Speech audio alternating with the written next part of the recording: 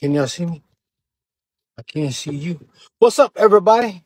I'm sitting up like this, like I'm tall. Let me open the door. I'll let the down.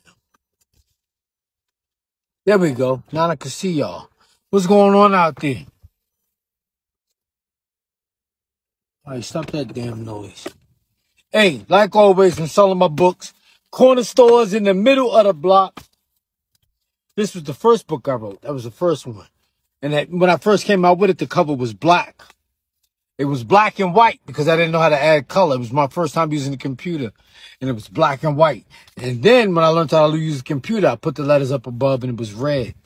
And then for some stupid reason, I took the picture, I took my picture off the book because I thought I could sell more books. I thought people weren't buying my books because I'm black.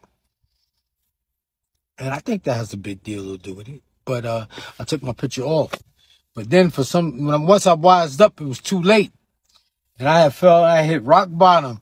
And I said, wait a minute, I'm gonna put my picture back on the book. And I stood on the corner of 125th Street in front of a corner store. It was in the middle of the block. I took a selfie and I put that picture back up there.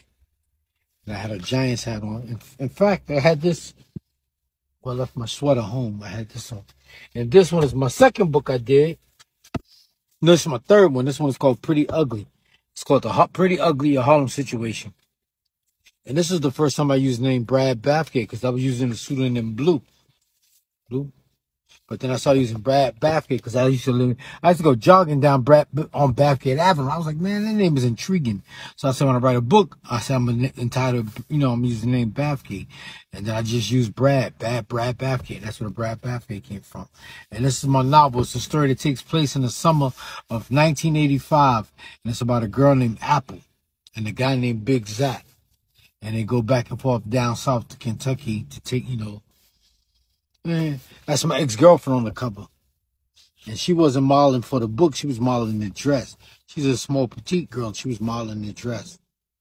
And that's why I put the dress. And that's why I put that on there.